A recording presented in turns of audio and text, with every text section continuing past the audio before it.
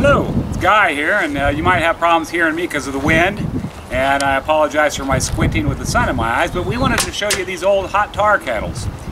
Um, that was the staple in the industry at one time for any flat roofs. This was the baby. Now we heat hot tar up to about 475 degrees, has a flash point at 575 degrees where it'll catch on fire. And uh, it's a good way to get hurt, burn the whole left side of my chest in my 20s.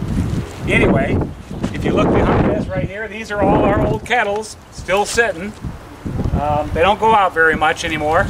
Once in a while this big one goes out because about the only place we're using these kettles anymore predominantly are uh, commercial buildings where we're replacing hundreds of squares of uh, roof. And by the way, a square is a 10 by 10 area.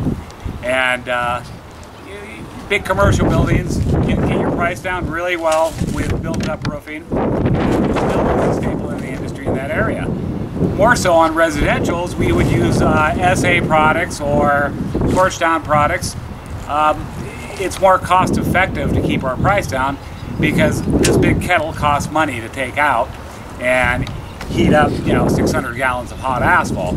Anyway, um, just wanted to kind of give you a little education on it, show you what they look like.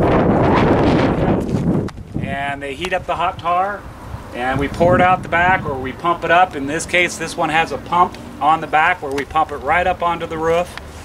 In the background, you'll see what's a low boy, the, the yellow barrel looking thing, and we can pump all the asphalt into that and drag it around all over the roof. And we apply our roofing material in multiple layers. You have a separation sheet on the roof first, so you're not bonding right to the building. It allows for movement.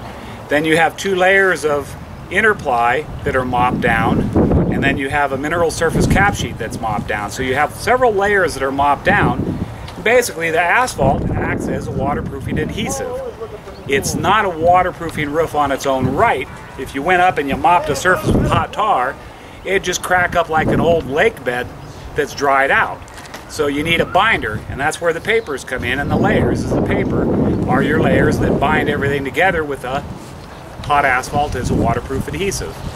Uh, these roofs are still viable on commercial buildings. They last basically 15 to 20 years depending on how many interply layers you have, whether it's a 3-ply, a 5-ply, or 4-ply.